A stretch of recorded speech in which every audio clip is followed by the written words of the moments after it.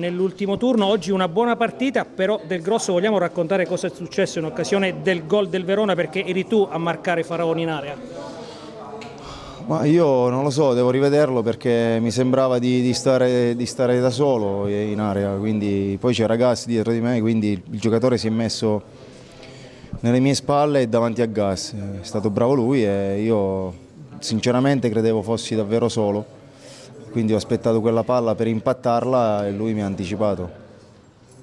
Questo è un punto importante, no, Cristiano, in chiave playoff, perché a questo punto l'obiettivo è quello di giocare la prima partita in casa, quinto, sesto posto, tenere dietro il Verona comunque un risultato positivo. Sì, sì, è un risultato positivo. È chiaro che mh, volevamo a tutti i costi la vittoria, e, mh, non l'abbiamo trovata, comunque siamo consapevoli che abbiamo affrontato una grande squadra, e, quindi ci prendiamo il punticino, abbiamo espresso comunque una grande gara oggi.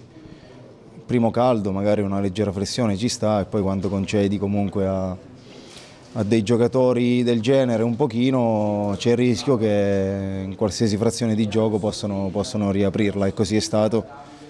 Però adesso stare tanto al pensare al, al sé non, non esiste, ci abbiamo due settimane, chiudiamo questa pratica dei playoff e poi poi spero ci, ci, ci, divertiamo. Questa squadra però manca Cristiano in continuità, a Carpi avevate giocato maluccio il primo tempo, sicuramente meglio la ripresa, oggi avevate iniziato bene, poi avete subito anche pesantemente gli attacchi del Verona con Fiorillo autore di quattro parate decisive e poi nel finale siete tornati ad avere anche le occasioni per vincere questa partita. Come mai anche oggi con il Verona la squadra non è riuscita ad essere continua?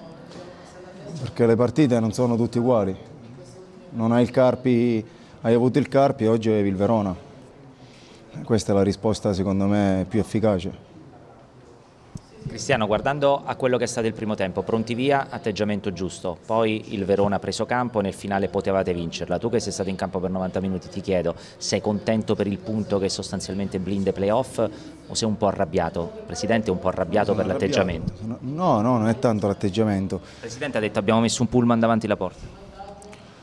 No, no, no, io, non, ehm, io sono amareggiato, ecco, a parte io purtroppo sono fatto così, eh, ma come tutti i miei compagni volevamo vincere per, anche per il contesto che c'era oggi, bella giornata, 10.000 persone allo stadio contro il Verona, che, che oggi era una partita, era, poteva essere la vittoria perfetta, eh, cioè capite, a livello di motivazioni, ecco, non è stato così, però l'abbiamo l'abbiamo lottato fino alla fine ripeto, oggi avevi il Verona, eh, quindi un punto te lo prendi e ricominci, tanto che devi fare? Stare a parlare di, di quello che potevamo fare adesso non serve.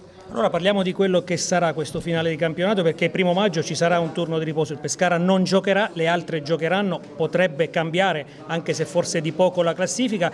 E poi Cristiano ci saranno due partite eh, complicate, la prima a Venezia contro una squadra in piena zona playout, la seconda, l'ultima della stagione con una Salernitana che classifica oggi alla mano non è assolutamente salva ancora.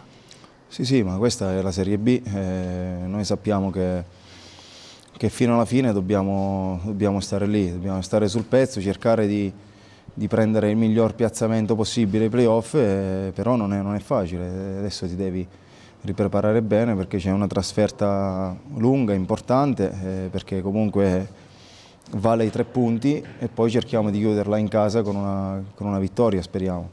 Però ripeto, adesso archiviamo questa partita, io sono contento, da, da una parte amareggiato, ma perché eh, magari nel gol potevo, non lo so, è una, è una, cosa mia personale, quindi adesso mi se ne passerà, però un po' amareggiato lo sono perché volevo una vittoria oggi. Allora chiudiamo con un'analisi dell'ultimo mese tuo Cristiano, perché dopo che hai avuto il problema a Salerno alla caviglia ci hai messo un po' a tornare, ma quando sei tornato anche Pillon lo ha detto, hai dato grandi garanzie, hai fatto un mese super, qual è un po' il segreto di Cristiano del Grosso? Non c'è nessun segreto, io, spero, io credo di...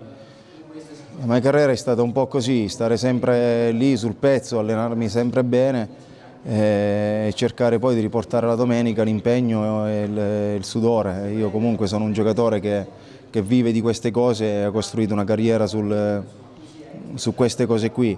Chiaramente quando, quando, non sto bene faccio fatica, eh, ho 36 anni e quindi non lo nascondo che se non mi alleno due giorni la domenica non rendo. Questo mese eh, mi sono allenato tutti i giorni, è chiaro che la condizione insieme a un po' l'esperienza mi aiuta e posso ancora dire la mia.